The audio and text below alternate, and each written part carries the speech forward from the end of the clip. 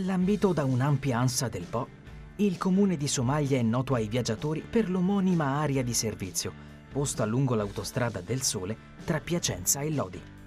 Un territorio produttivo e di passaggio che si svela al visitatore pronto ad abbandonare l'autostrada per un viaggio contraddistinto da un ritmo più rilassato.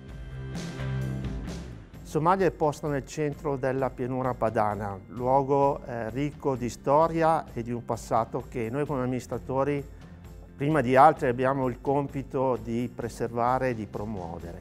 Siamo orgogliosi di mostrare le nostre bellezze e ricchezze. Chi nasce in una cascina della nostra bassa si porta dentro per tutta la vita un'eredità che un cittadino non può né ricevere né trasmettere. Un'eredità fatta di sentimenti e sensazioni, di colori e calori. La mia anima è fatta di questi tesori. Con le parole di Mario Borsa, nato a Somalia e primo direttore del Corriere della Sera dopo la liberazione, si apre il nostro viaggio.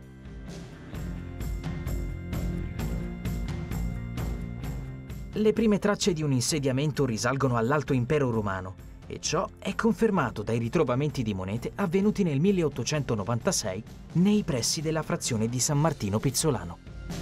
Nel seguito della storia abbiamo altri segni di Somalia in diverse bolle papali a partire dal 1200 dove Somalia viene identificata come Montoltratus. Poi successivamente nei corsi degli anni ritroviamo la stesura di Somalia associata all'antica Roncaglia. Successivamente poi è solo nel XIV secolo che troviamo definitivamente la parola unica Somalia. L'etimologia richiama chiaramente il latino summus, che seguito dal suffisso alea indica i terreni sopraelevati, i punti più alti del territorio, lambito dalle acque del fiume al sicuro dalle piane ricorrenti. Nel XIV secolo il vicario imperiale Bernabò Visconti conferì il feudo di Somalia ai nobili Cavazzi, una famiglia che legherà strettamente le sue sorti a quelle del borgo lodigiano. Una famiglia di origini spagnole a cui dobbiamo molto dal punto di vista culturale e architettonico. Infatti è proprio con i conti Cavazzi che parte la costruzione del castello e anche della nostra parrocchia. Nel 1980 l'ultima discendente dei conti Cavazzi, Gwendalina, donò al comune di Somalia il castello di famiglia. Così come vediamo ora il castello possiamo notare due aree ben distinte. L'ala est di impianto medievale a mattoni dove si vede ancora chiaramente quella che era l'apertura a sesto acuto da cui partiva il ponte levatoio e l'ala ovest di impianto seicentesco, ristrutturato appunto dai conti Cavazzi, dove appunto la moda dell'epoca voleva riportare gli antichi castelli a delle dimore, quindi vedete proprio che è stata completamente intonacata. Questo importante incubatore culturale oggi ospita molteplici attività. È una piccola esposizione dedicata al giornalista Mario Borsa, la cui memoria, assieme a quella del general Griffini, eroe del Risorgimento, è ancora molto viva tra i somaliesi. Oltre la piazza, su una breve altura, troviamo la chiesa parrocchiale. I lavori di costruzione della nostra chiesa parrocchiale sono partiti nel 1769 su volere dei nobili Cavazzi, che detenevano l'onere e l'onore di scegliere anche il parroco del comune. Grazie a loro partono questi lavori insieme all'importante stesso architetto che ha avviato i lavori anche della fabbrica del Duomo di Milano. Internamente possiamo ammirare la nostra parrocchia ricca di contenuti non lasciati al caso. Focus fondamentale sono i due quadroni della Giudecca che fanno parte di eh, un ciclo di sei tele volute fortemente dai nobili Cavazzi e riportate grazie a loro nella nostra parrocchia. Pensate che durante l'avvento di Napoleone erano state riportate in Francia e successivamente rientrate in Italia all'Accademia di Brera.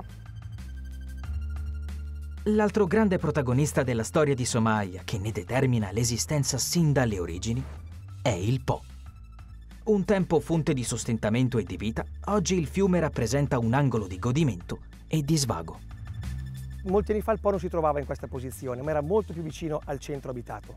Basta guardare infatti la conformazione territoriale di Somalia, dalla quale è possibile vedere delle piccole alture, delle piccole, dei piccoli colli, sono i tre colli di Somalia, che fanno parte anche dello stemma comunale, che hanno permesso al centro abitato di evitare le inondazioni che derivavano dall'esondazione del fiume.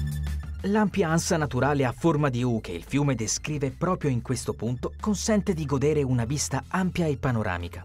La strada bianca che corre lungo l'argine è un vero paradiso per i bikers e i camminatori.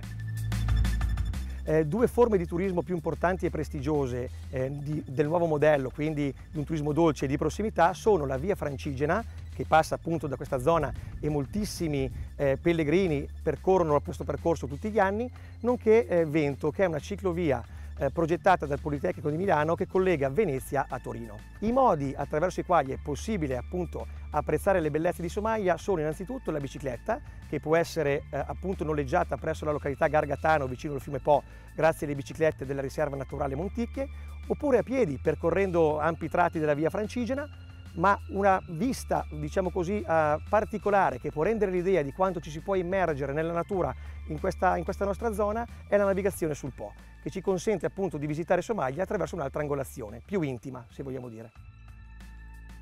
L'altro fiore all'occhiello dell'offerta naturalistica di Somalia è la riserva naturale Monticchie, area tutelata sottoposta a SIC e ZPS. Alle mie spalle c'è la riserva naturale Monticchie, è un piccolo lembo di terra di più o meno 240 ettari che è rimasto a Vosco e ad aree umide dove ci sono intorno tutti dei campi, dove ci sono delle fioriture di prati stabili e degli acquitrini. Attorno agli anni 50 questo piccolo lembo di terra fu abbandonato perché ritenuto improduttivo. Successivamente, negli anni 60, il WWF si interessò al sito già ripopolato da fauna e flora locale fu evidente sin da subito l'importanza naturalistica dell'area che venne prontamente posta sotto tutela. La specie più importante presente nella nostra riserva naturale è la rana di lataste, che è una rana rossa, una rana terricola, che utilizza gli specchi d'acqua soltanto per la riproduzione e la deposizione delle uova è molto importante perché è endemica della pianura padana e molti territori di cui ci sono i suoi habitat naturali si stanno perdendo per via del consumo di suolo e dell'agricoltura. All'interno della riserva è possibile fare bird watching e passeggiare grazie ad una vasta rete di sentieri interni ben delimitati man mano che si entra all'interno della riserva naturale si vengono a trovare dei prati stabili con importanti fioriture molto utilizzate dagli eh, insetti impollinatori, mentre man mano che si entra nella zona di bosco si va a vedere le varie aree umide che sono presenti, in cui eh, molte specie sia di anuri che di anfibi che di eh, vegetali come il carice hanno potuto crescere indisturbati e sono proprio delle specie tipiche di queste zone. E il nostro viaggio termina come da tradizione in cucina, perché a Somalia potrete gustare una specialità molto particolare. Vi propongo un risotto proprio che racchiude i prodotti tipici del territorio, risotto con zafferano, salsiccia e raspadura.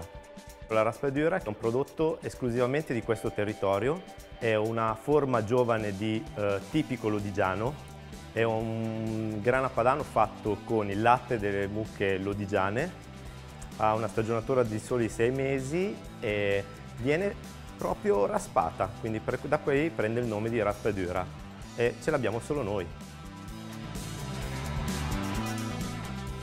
In questo lembo di Lombardia, operosa e rilassata al contempo, il viaggiatore potrà assaporare, come scrive Mario Borsa, i colori e i calori di un mondo avito e autentico.